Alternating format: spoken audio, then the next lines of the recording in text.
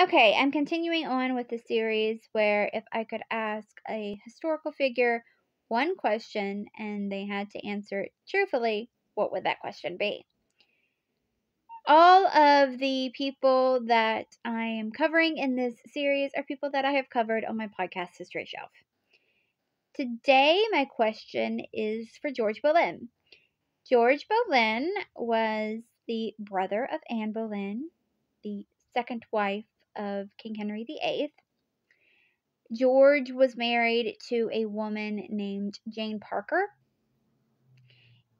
It has been said that when George was accused of treason, Jane actually testified against George and Anne. But now historians have come to question that. There's no definitive proof that Jane actually testified against them.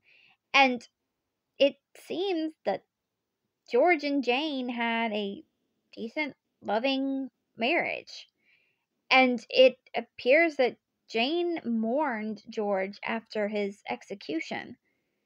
So, my question to George would be Did Jane actually testify against him and Anne? Let me know if you have any questions that you would like to ask George Boleyn. And follow me if you want to learn more questions that I have for historical figures.